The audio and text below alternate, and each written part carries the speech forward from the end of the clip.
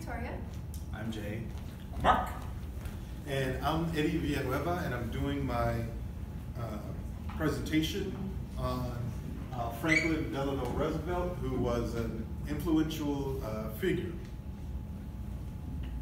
Uh, now, we have all benefited from some sort of uh, government assistance, whether it's Social Security, uh, financial aid, uh, FEMA, uh, as we most of us did during the hurricane, uh, and minimum wage.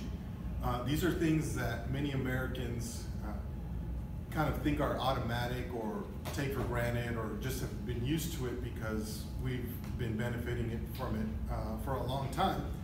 But it wasn't always uh, that way.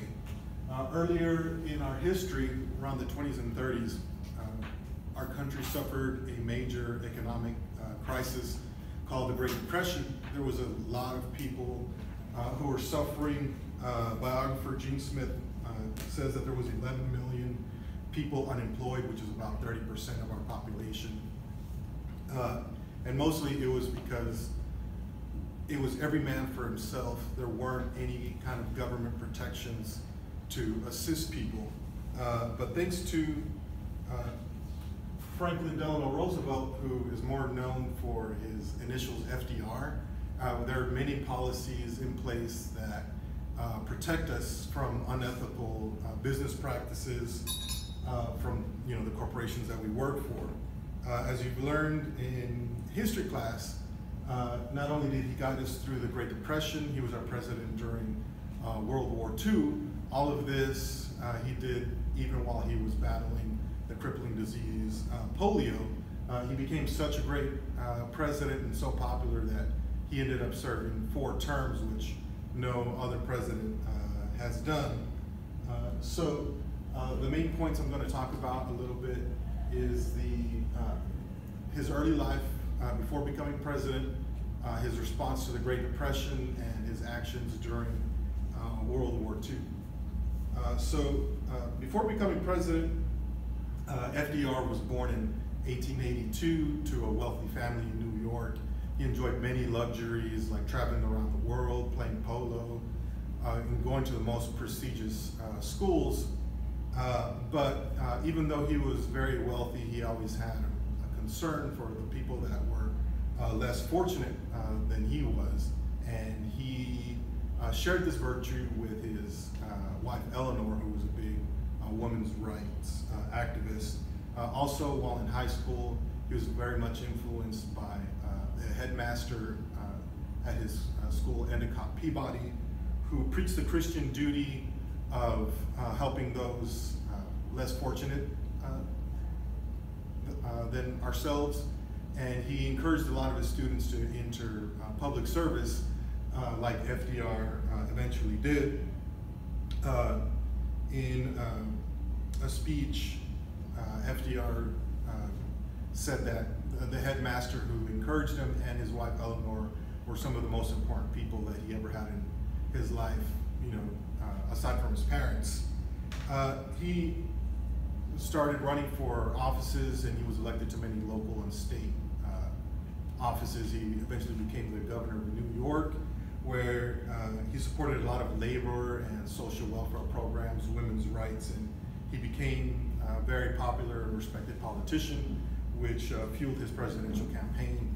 And once he uh, became president, he inherited a major financial crisis called the uh, Great Depression from the previous administration of Herbert Hoover. And in his campaign, he promised that he was going to relieve these, uh, these problems that Americans uh, were facing. There was high unemployment, the stock market crashed, and everyone was suffering And these programs that he wanted to start, he called the New Deal. And in a speech, he, uh, quoted, uh, we are ready to begin to meet uh, this problem, the intelligent care of population throughout our nation in accordance with an intelligent distribution of the means of livelihood for that population.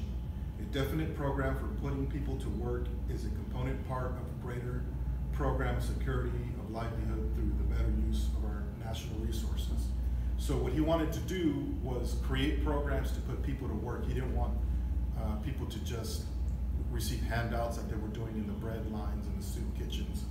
Uh, so he started um, uh, programs. Uh, unfortunately, they were very controversial because they were in direct competition with private businesses. You know, he was like uh, putting people uh, to build roads, taking business away from other uh, companies. Uh, so people thought that with him, the government was getting too powerful and that it was getting close to socialism because of the uh, social welfare programs. Um, but the Americans started to feel some relief.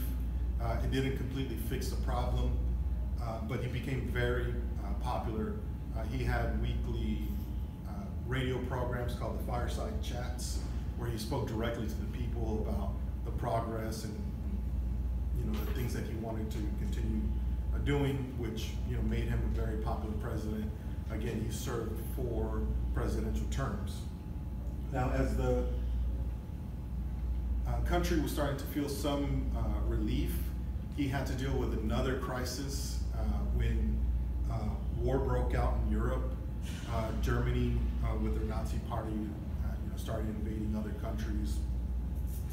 And breaking from isolationist tradition, meaning that at that time, America, most Americans were only concerned with helping ourselves. Not we didn't want to worry about other countries' problems uh, FDR decided like, no, we need to uh, help these other countries before the war comes to our continent.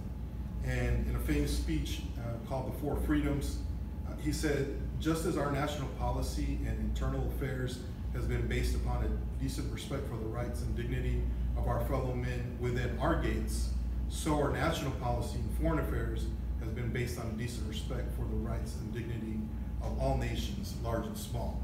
Uh, so what that meant is that he wanted to send supplies and ammunition over to Europe to help fight the war, but he didn't necessarily want to send our people to go fight. Uh, that is until uh, December 7, 1941, uh, when uh, Japan decided to bomb uh, Pearl Harbor, which he called the day that we live in infamy. He was forced to declare war on Germany and uh, Japan, and finally he had to send troops uh, to fight. Uh, now the you know the Nazis and um, you know the other bad guys were defeated, uh, and this led to a cooperation amongst all the countries, all the allies, and uh, there was a uh, which led to the formation of the United Nations, where all the countries uh, came together, uh, you know, so that if anything like this ever happened again, no one nation would have to defend itself. Uh, plus, all the nations of the, in the United Nations came together to do other things that would benefit the entire world, not just each individual uh, nation. So, uh, in conclusion, uh, you know, I wanted to say that Franklin Delano Roosevelt, or FDR, uh, lived to, to serve others. And he, you know, relieved the problems during the Great Depression, and he built the global community after uh, World War II. And uh, he was very uh, influential in American world politics, and he's also uh, one of our presidents that we should uh, see as an example, someone who cares about, you know, its citizens, and it's also an example for us to live our lives, to always, you know, watch out for our neighbors and, help those that are uh, less fortunate uh, than ourselves, and that uh, anything is possible.